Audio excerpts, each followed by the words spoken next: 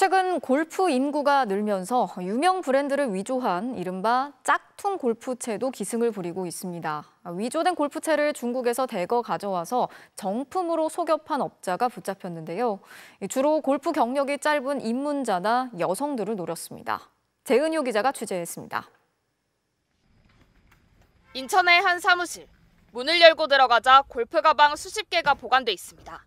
안에는 새 골프채들이 가득합니다. 유명 브랜드 로고가 선명하지만 모두 위조된 골프채입니다. 영장 집행하겠습니다. 혐의 부분은 관세법 위반 부분하고 상표법 위반 부분.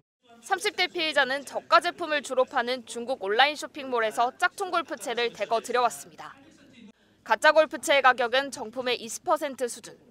하지만 피해자는 중고거래 사이트에 정가의 절반 정도인 100만 원대 가격을 붙여놓고 포장도 안 뜯은 정품이라고 속였습니다. 주로 골프에 입문한 지 얼마 안 된 사람이나 여성을 노렸습니다. 위조 제품은 광택이나 헤드의 장식 등이 정품과 조금 달랐지만 이를 초보자들이 알아채기는 쉽지 않았습니다.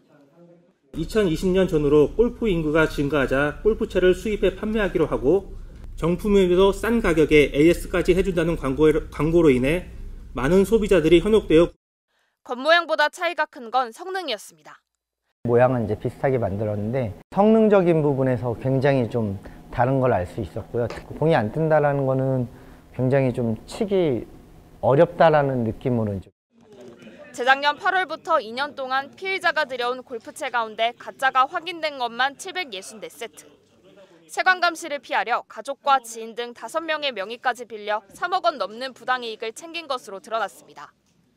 인천세관은 중국의 해당 온라인 쇼핑몰에서 짝퉁 골프채 판매자 사이트에 대한 접속을 차단하는 방안도 검토 중이라고 밝혔습니다.